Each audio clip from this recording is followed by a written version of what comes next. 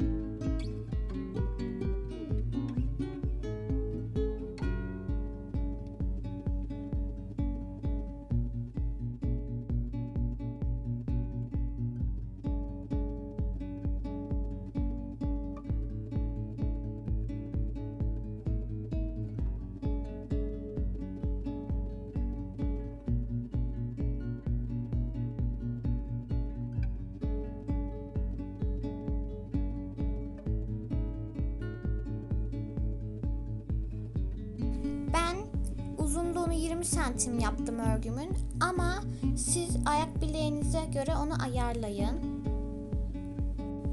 Hatta en son yaptıktan sonra kasa gelirse onu zincirlerle uzatabilirsiniz.